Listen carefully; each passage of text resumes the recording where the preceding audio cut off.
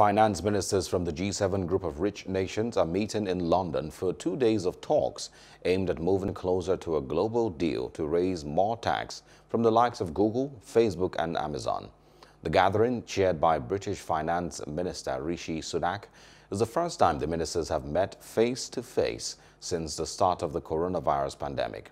Rich nations have struggled for years to agree a way to raise more tax from large multinational companies, which often book profits in jurisdictions where they pay little or no tax.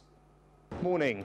Delighted to welcome today G7 finance ministers to the UK. It's the first time we've met in person in two years, and I believe we can make significant progress in tackling some of the world's most pressing economic challenges. Firstly, providing support to vulnerable countries through coronavirus.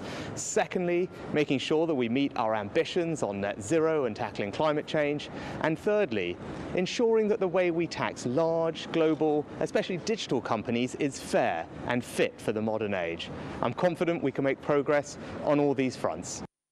Hello, hope you enjoyed the news. Please do subscribe to our YouTube channel and don't forget to hit the notification button so you get notified about fresh news updates.